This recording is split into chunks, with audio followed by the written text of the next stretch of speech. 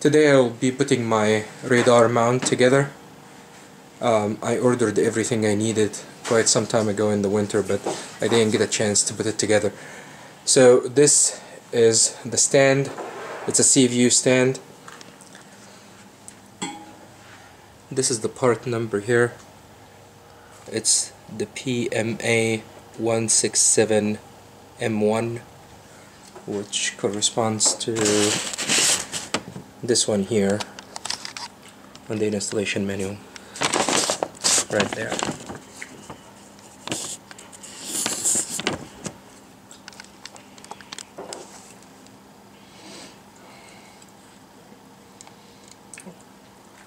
Seems like the cat is very interested. We got two helpers today my son and the cat. This is everything that came in this specific box. We will be going through this during the installation. This is the most important piece and this is the gasket here that will be installed right on top. One very important thing you need to know um, about these is it doesn't come with the plate itself that will going to hold the radar. Um, I was surprised the day all of this arrived. I took it to the boat and I started the installation process and all of a sudden I found out that the plate is not there. Um, first I thought it's uh, maybe they missed it or didn't put it in the box but later I found that actually it's being sold separately. Depends on what kind of radar and what is the manufacturing and what is the size and all of this kind of stuff. A really nice way to make money. It's not cheap either.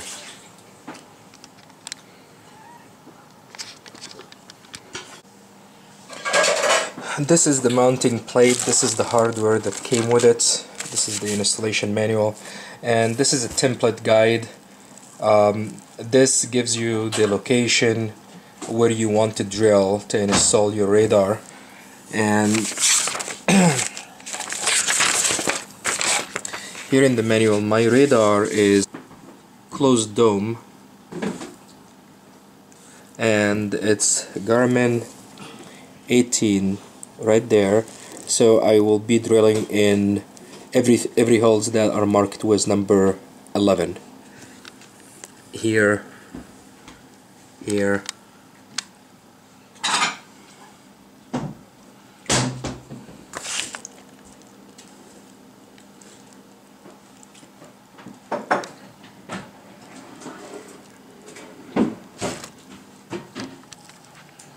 before we, we start installing the plate we have to put the light bar together otherwise the installation will be out of order. I ordered this light bar this is the hardware that came out of it.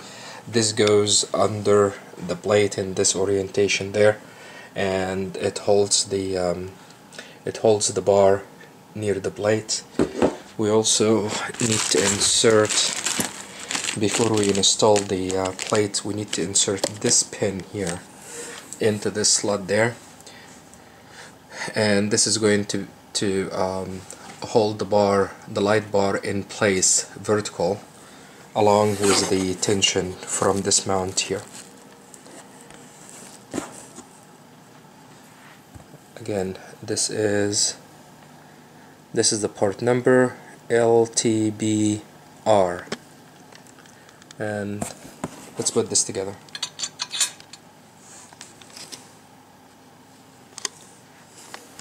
This is the all-around white light the transom light. And we will need to pass this wire through the bar before we install it. So this is where we are right now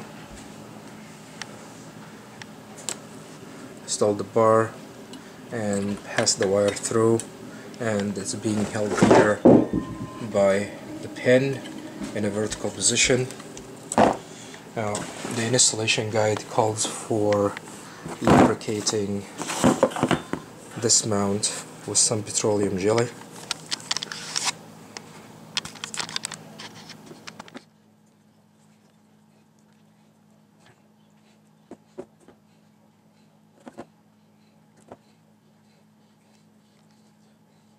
it's not going to dry. Alright.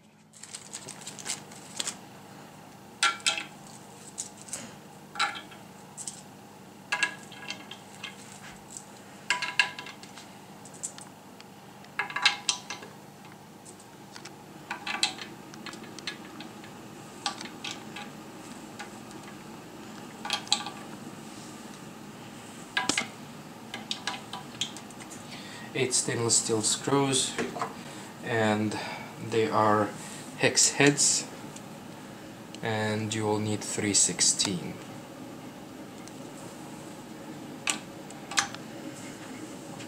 when you are trying to put something like this together always start in the middle and work your way out. Never the other way around otherwise you are not going to have a perfect seal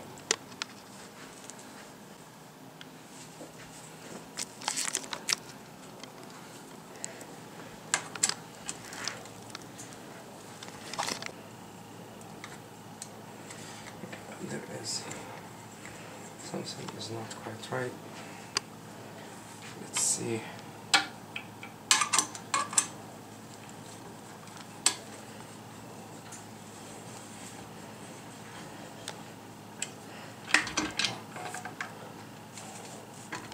Why this pin here was raised? A little bit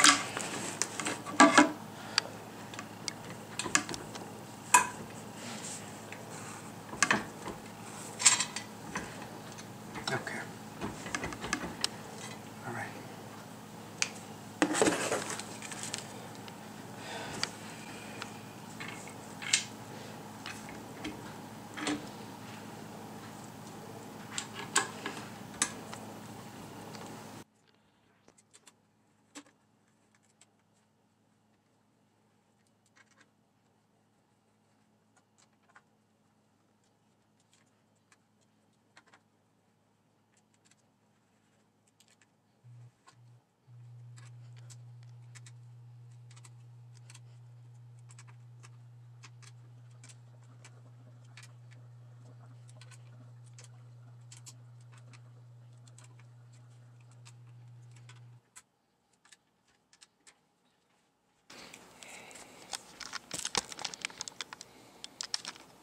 And like I said, we will start in the middle.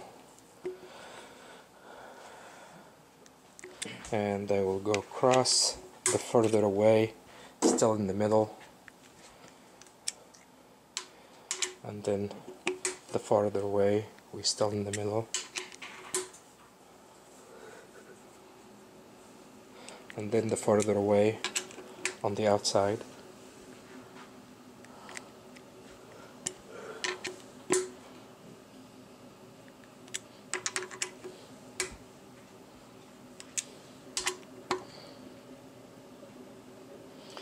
We go again. Tighten a little bit every time. To apply an even pressure on the plate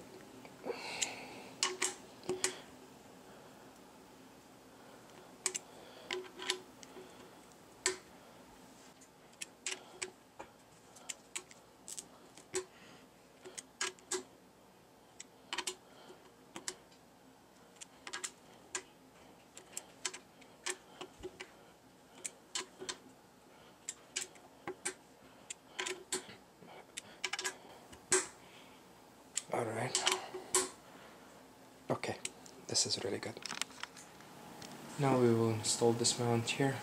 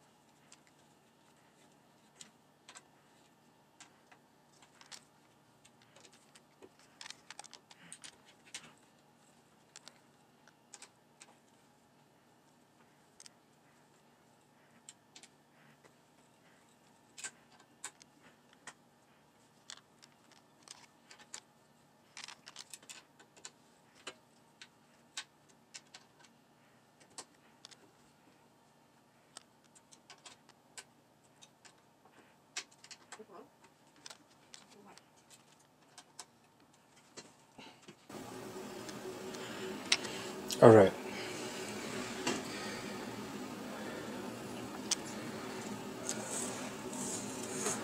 This is done.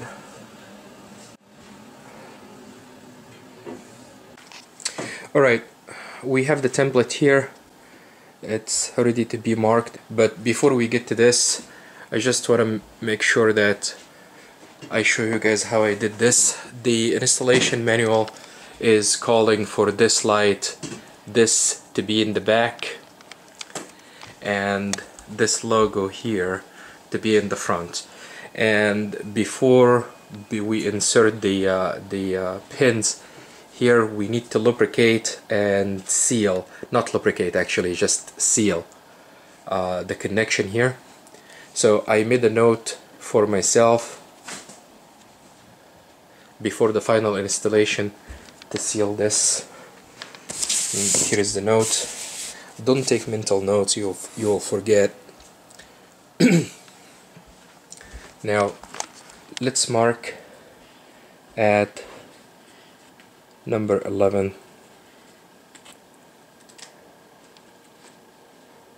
here.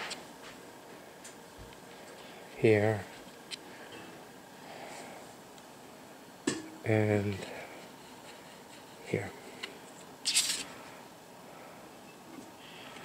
alright so this is this one.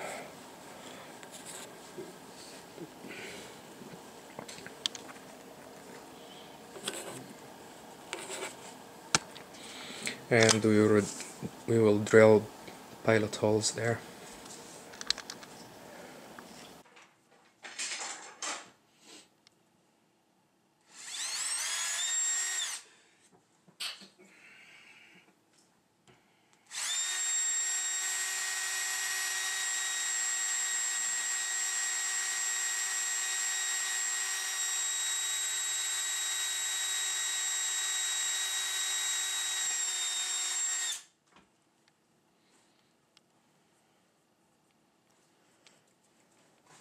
these are just pilot holes.